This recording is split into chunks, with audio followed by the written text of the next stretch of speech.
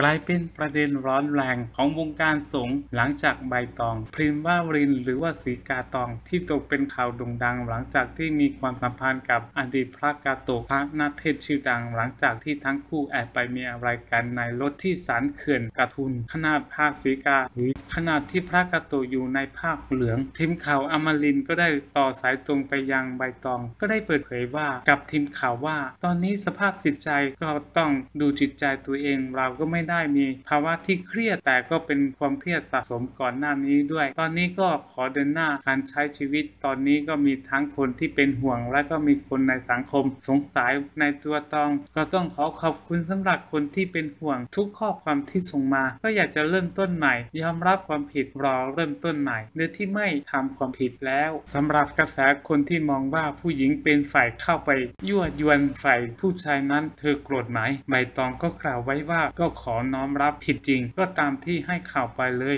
ไม่ได้โกรธไม่พยาบาทอะไรเรื่องผ่านไปแล้ว ก็ขออโหสิกรรม เรื่องของตองกับคุณเขาก็ได้อโหสิกรรมการไปหมดแล้ว และก็จบแล้ว จบไปนานแล้ว ในประเด็นเรื่องของผู้ใหญ่ก็ให้โอกาสทำงานก็มี แต่ก็ตอนนี้ก็ต้องรักษาตัวอย่างเดียว ถ้าหากพร้อมเมื่อไหร่ก็จะรุยตอนนี้ก็ดูแลตัวเองก็ตามคำสั่งของแพทย์ทุกอย่าง แต่ขอไม่ตอบก็ต้องทำอะไรบ้าง เพราะว่าว่าบางอย่างก็เป็นความลับของทางการแพทย์ด้วย